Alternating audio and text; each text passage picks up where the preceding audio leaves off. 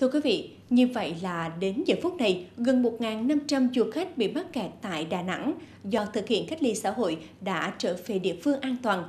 Đây có thể xem là nỗ lực rất lớn của chính quyền thành phố Đà Nẵng và ngành du lịch trong bối cảnh thành phố đang nỗ lực chống dịch COVID-19. Những ngày cuối tháng 7, khi Đà Nẵng bùng phát dịch bệnh COVID-19, trong bối cảnh thành phố dốc sức chống dịch, những du khách bị mắc kẹt lại thành phố trong giai đoạn này vẫn được ngành du lịch thành phố quan tâm hỗ trợ khách sạn lưu trú, cũng như tiếp nhận mọi thông tin phản ánh, yêu cầu của du khách thông qua đường dây nóng của Trung tâm hỗ trợ du khách. Ủy ban nhân dân thành phố Đà Nẵng cũng đã chỉ đạo quyết liệt Sở Du lịch và các ngành liên quan khẩn trương triển khai các giải pháp để hỗ trợ du khách về các địa phương sớm nhất có thể. Công tác hỗ trợ cho du khách từ lúc ở Đà Nẵng cho đến lúc làm thủ tục bay cũng đã được Sở Du lịch thành phố hết sức quan tâm, đảm bảo quyền lợi và quyền vọng của du khách. Từ 2 năm trở đi thì đã có thông tin của, của Sở Du lịch ờ, hỗ trợ rồi, hỗ trợ nhiệt tình từ lúc đó đến đến đến sát giờ bay đến đến nay. Đấy thì rất cảm ơn ờ, chính quyền ờ, địa phương đã đã hỗ trợ.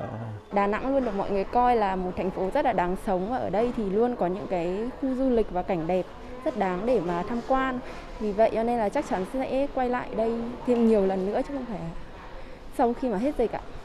Trước khi bay, hơn 760 du khách đăng ký bay về thành phố Hồ Chí Minh cũng đã được ngành y tế thành phố lấy mẫu xét nghiệm SARS-CoV-2 nhằm đảm bảo an toàn phòng chống dịch cho các chuyến bay chở khách từ Đà Nẵng và hạn chế tối đa nguy cơ dịch bệnh lan rộng trong cộng đồng. Các lực lượng của sở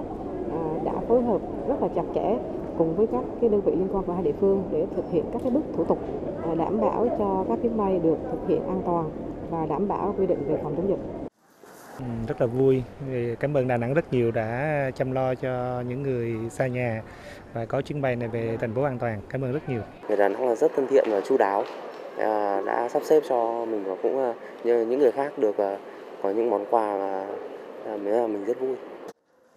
Bảy chuyến bay đưa gần 1.500 du khách trở về Hà Nội và thành phố Hồ Chí Minh đã về đích an toàn. Hình ảnh du khách trở về địa phương cùng với món quà Đà Nẵng cầm trên tay sẽ luôn là hình ảnh đẹp nhắc nhớ về một Đà Nẵng thân thiện, mến khách và cũng là lời động viên Đà Nẵng sớm vượt qua dịch bệnh để sẽ lại là điểm đến hấp dẫn, an toàn đối với du khách trong một ngày gần nhất.